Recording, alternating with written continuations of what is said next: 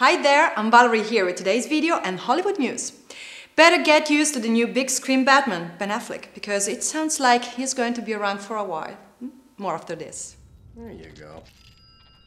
So far, so good. Ah, no, that's strange. I'm in the right. Hold on.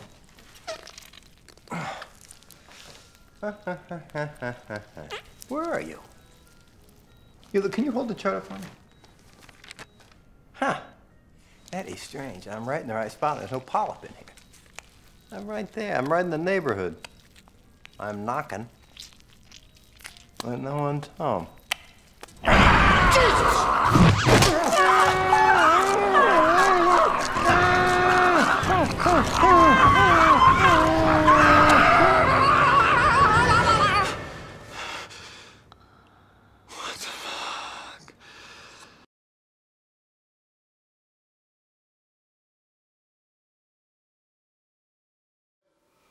Sources say that Affleck has been signed for multiple movies should sequels continue. The talks were so secretive that many Warner execs and most WME agents remained unaware of their existence.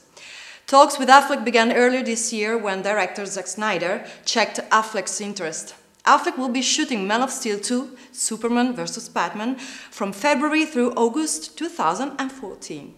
That's all for today. Subscribe to FilmIsNow to keep updated on all the latest trailers and news from Hollywood. See you next time.